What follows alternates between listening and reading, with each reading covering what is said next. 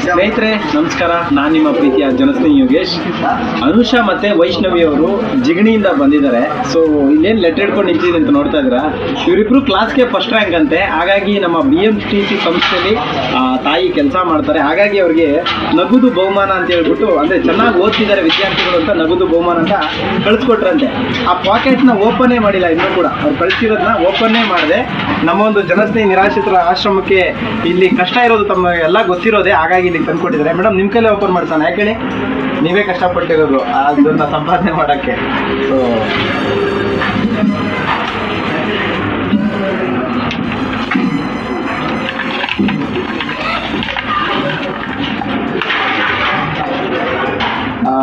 ನೋಡಿ, ಸ್ನೇಹಿತರೆ, ಅವರು ಫಸ್ಟ್ ರ್ಯಾಂಕ್ ಬಂದಿದ್ದಕ್ಕೆ ನಮ್ಮ ಬಿ ಎಂ ಟಿ ಸಿ ಸಂಸ್ಥೆಯವರು ತ್ರೀ ತೌಸಂಡ್ ರುಪೀಸ್ ಅವ್ರಿಗೆ ಬಹುಮಾನವಾಗಿ ಕೊಟ್ಟಿರ್ತಾರೆ.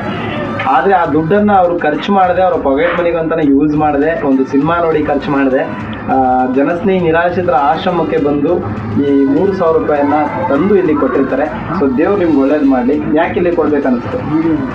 ನೀವು ಇಷ್ಟೊಂದು ಜನನ ಸಾಕ್ತಾ ಇರುವಾಗ ನಮ್ದೊಂದು ಚಿಕ್ಕ ಸೇವೆ ಏನು ದೊಡ್ಡಲ್ಲ ಅಂತ ಅನ್ಸ್ಕೊಂಡು ಆದರೆ ಇದನ್ನ ಪಾಕೆಟ್ ಮನಿ ಇಕ್ಕಬೇಕು ನಿಮಗೆ ಖರ್ಚು ಬೇಕಾಗುತ್ತೆ. ಪಾಕೆಟ್ ಮನಿ ಬೇಡ ನಾನು ಎಲ್ಲರೂ ಚೆನ್ನಾಗಿದ್ರೆ ಸಾಕು. ಥ್ಯಾಂಕ್ ಯು ಸೊ ಮಚ್ ನೀವೇನು ಹೇಳ್ತೀರಾ? ನಾವು ಒಬ್ಬರು ನೋಡ್ಕೊಂಡ್ರೆ ಈ ತೊಂಬತ್ತೈದು ಜನ ಅನಾಥರಾಗ್ಬಿಡ್ತಾರೆ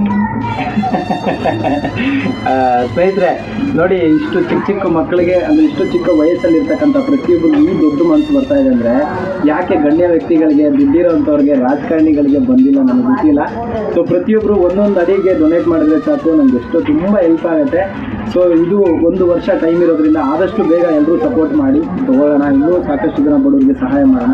ಥ್ಯಾಂಕ್ ಯು ಸೊ ಮಚ್ ದೇವ್ರು ಒಳ್ಳೇದು ಮಾಡಲಿ.